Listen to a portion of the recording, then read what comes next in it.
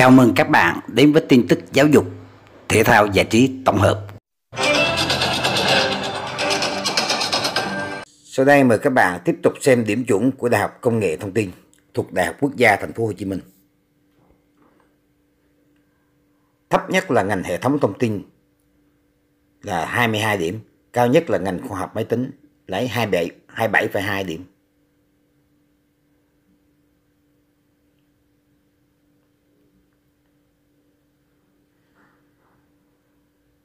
Đây là bảng điểm chuẩn của Đại học Công nghệ Thông tin.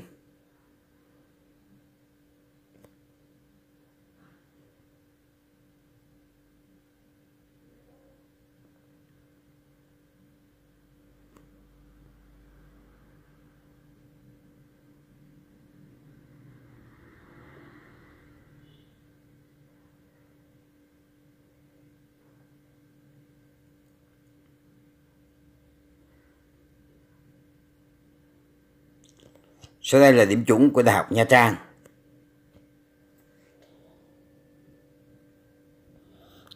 Điểm chuẩn dao động ở mức từ 15 đến 23,5 điểm.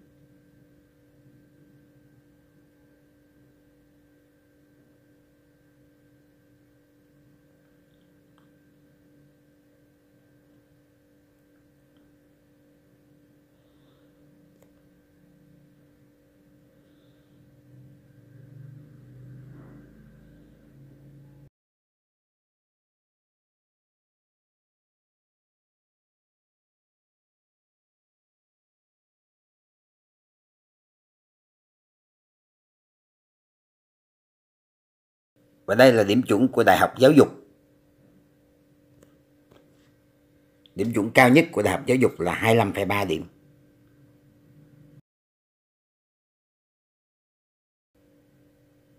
Ngành sư phạm toán và khoa học tự nhiên là 22,75. Ngữ văn, lịch sử, địa lý 23,3. Nhóm ngành khoa học giáo dục và khác là lấy 17 điểm.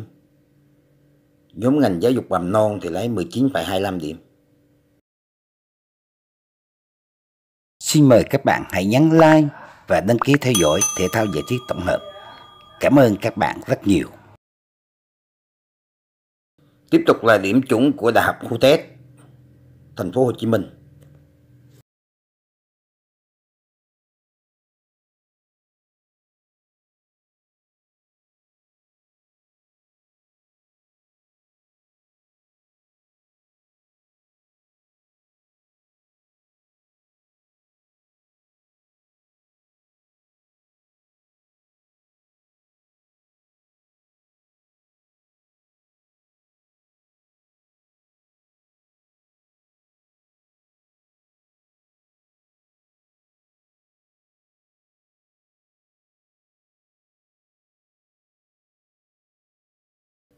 Nếu coi không kịp hoặc là nó bị lướt qua thì các bạn có thể tua lại để xem cho kỹ hơn các bạn nhé.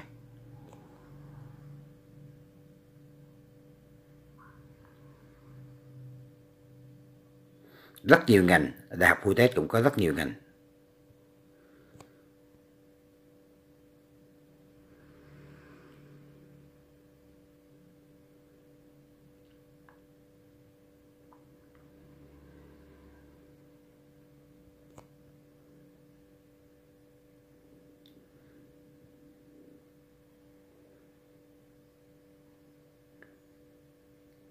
Tiếp theo là điểm chuẩn của Đại học Thăng Long.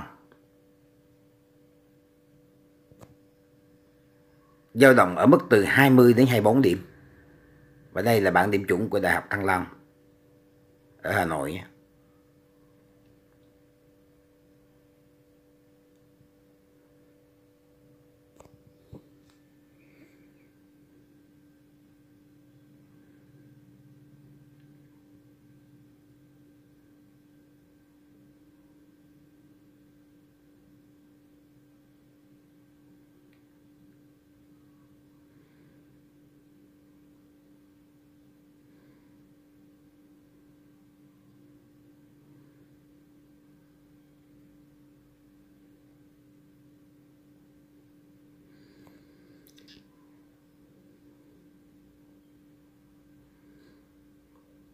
Tiếp theo là điểm chuẩn của Đại học Khoa học Xã hội và Nhân văn thuộc Đại học Quốc gia Hà Nội. À, các bạn lưu ý là đây là Đại học Khoa học Xã hội nhân văn của Đại học Quốc gia Hà Nội chứ không phải Đại học Quốc gia Thành phố Hồ Chí Minh nha. Có mức điểm chuẩn từ 21 đến 30 điểm, kinh khủng, một số điểm cũng 30 điểm. Đối với ngành Hàn Quốc đó các bạn. Điểm trúng tuyển tổ hợp C0 khối C dao động từ 21 đến 30 điểm. Ngành lấy điểm chuẩn 30 đó là ngành Hàn Quốc học. Bởi vì cái ngành này lấy rất là ít điểm, lấy rất ít chỉ tiêu, chỉ 50 chỉ tiêu. Trong khi đó là khối lượng à, tuyển thẳng đã là 30 chỉ tiêu rồi. Do đó là điểm chuẩn lấy rất cao.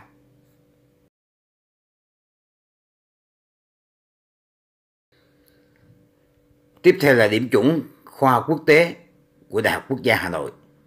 Khoa quốc tế của Đại học Quốc gia Hà Nội còn ở trường Đại học Quốc gia Thành phố Hồ Chí Minh là có trường Đại học Quốc tế luôn nha các bạn.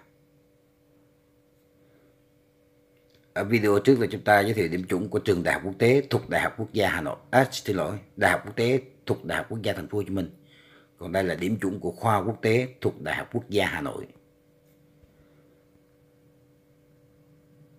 Dao động từ 17 đến 23,5 23,25 điểm đây là bảng điểm chuẩn của đại học của khoa quốc tế đại học quốc gia hà nội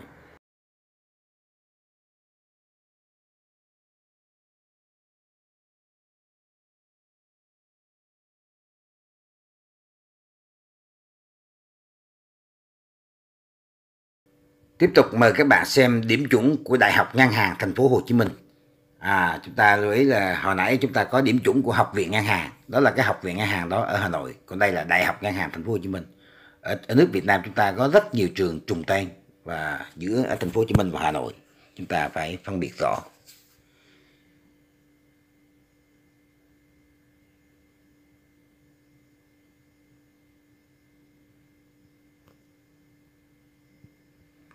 Đây là bảng điểm chuẩn của Đại học Ngân hàng Thành phố Hồ Chí Minh.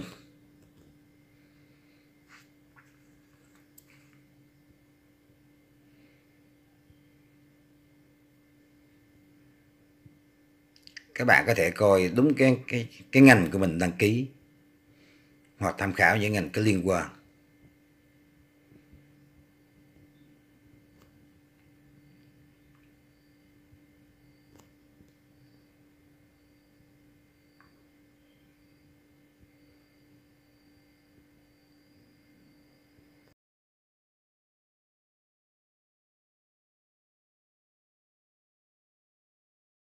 Đại học Ngân hàng Thành phố Hồ Chí Minh.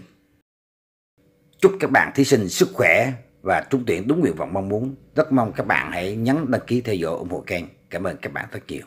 Hẹn gặp lại các bạn trong những bản tin giáo dục tiếp theo. Chào tạm biệt.